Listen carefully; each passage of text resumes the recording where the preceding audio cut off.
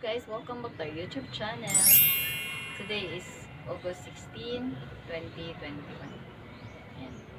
Ngayon pala guys, ay pipili tayo ng plant for the day. Actually, nakapili na ako. May napili na pala ako. Ayan. Yung napili ko guys kasi ano, marami siya sa ating garden kasi mabilis lang siya patubuin at buhayin. Ayan. Dito sa taas natin ay may siguro may apat, apat na pots at dun sa vertical garden may dalawa kasi ano lang eh, mabilis lang siyang patubuin. So, ito na siya guys, si Pilionia repens. Ayan. Ito gumawa, ah, nagtanim ako ng maliit para pang ano, panglagay sa ano, center table or office, ay ganun. Kaya wala palang office ngayon. Ah, meron pala yung iba. Okay. Ayan. Maganda siya sa office table. Ayan. Sa bahay din natin, sa center table din natin. Ayan. Ayan, maliit na Billionaire Repens. Ayan, yung ating number one. Then, ito din, nagtanim din ako pang ano lang, lagay lang sa shelf. Ayan. Mabilis sumu- tumubo guys, bago ko lang ito ni, ano, tinanim. Ayan. Ang haba na niya. Oh. Ayan, mabilis lang talaga siya maghaba. Ayan. Yan ang ating number 2. At yung ating number 3, ay, ano, ito na lang. Ito yung itanim ah, sa, ano po, ito yung ano guys, galing sa, ano, pinopropa, ah, pinopropagate ko sa, lagay ko ito sa pang, pang vertical na pots, ayan. Kasi mas madali kasing mabubuhay yung mga plants doon sa baba. Pero, kahit saan pala, basta ito mabubuhay siya kahit saan. Ano, bulol? Ayan. Yan siya guys, yung number 4 natin na Pilionia. Ayan, Pillionary pins na pang ano, vertical garden. Ayan, ang ganda niya. Ang haba din. Ayan. Actually, mabilis lang siya humaba at magdami. Kasi ito, nagtanim lang siguro ako ng, ano, actually, dalawang ano lang siya, dalawang ah, stem, stem, stem, ano ba? Stem, dalawang stem lang siya. Ngayon, ano, may maraming tumubo sa kanya na branches or maraming nag-usbong na bago, ayan. Ayan, lumami na sa ganyan sila kabilis magdami, ayan. Mabilis lang siya mag humaba tapos mabilis mabilis din siya magdami, ayan. Dalawa lang to tapos marami na nag ano, nagkaroon ng mga branches, ayan. Parang business lang, branches.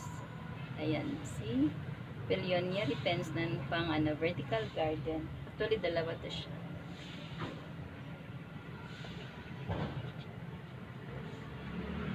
Ito yung isa guys, ayan, malaki na masyado siyang haba na at marami. Ayan. Ayan, masyado siya mahaba. Ano to sa baba guys, expose siya sa sun. Wala talaga siyang net, wala lahat. Expose sa sun at pag umulan, parang ano lang, ambon-ambon lang. Kasi hindi siya mataman kasi nandun siya sa gilid nakalagay. Sa ano talaga, vertical garden dun sa ano, dikit sa dingding. Ayan. Ayan, doon ko siya ilagay sa ano, yung grills ng aming bintana. Ayan.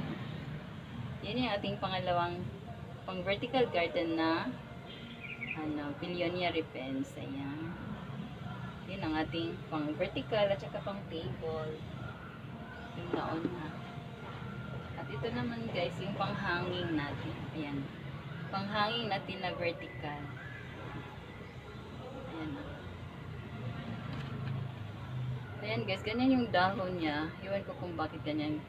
Pero ano, makulay siya. Pag maliit yung dahon niya, makulay. Parang violet. Ayan, dark. Tapos maliliit. Ayan mahaba na din siya. Yun. Maganda siya tingnan guys pag nasa ano, sa white. Uh, ayan o. Oh. Mas ma-emphasize yung kulay ng ano, ng plants. Pag ano yung white yung pots niya. Ayan o. Oh, Ayan yung ating Pillionaire Repens na panghanging. Ayan. Ayan.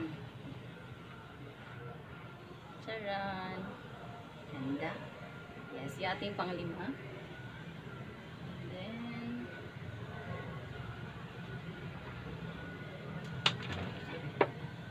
ito yung ating pang charan talaga. Ayan, malaki na. Ito yung ating pang-anim. 1, 2, 3.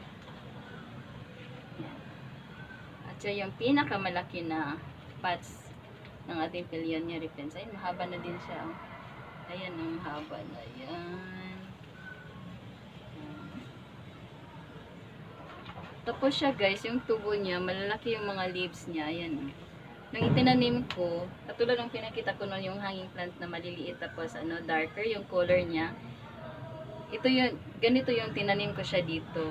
Tapos ito, expose siya sa init at saka ulan. Pero yung init na may, ano, may net, hindi direkta yung init at saka ulan sa kanya. Pero yung dahon niya, yan, yung laki-laki. Parang lighter na siya. Ayan. Ayan ang ating number 6 na bigatin na ano, malaking pots. Actually, hindi to siya pots guys. Ano yan siya? Ah, trash can.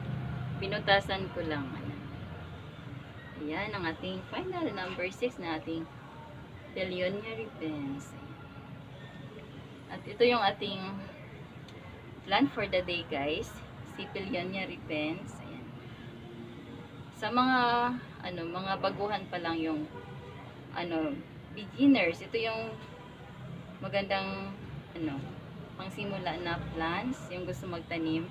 Madali lang talaga siyang buhayin, promise. At ano, ano lang yung pag-aalaga niya, hindi mahirap. Ganun lang, dilig-dilig lang. Ito, ano to, expose sa init at saka ulan. Yun. Pag mainit masyado, dilig lang, ayan. Kasi hindi siya mahirap alagaan para sa akin, ayan. Paganda sa mga beginners, ayan. Mga beginners na plantitas and plantitos. Ayan, ang ganda. So, and guys, ito yung ating plant for the day, si Pillonia repens. Repens, Pillonia repens, ayan.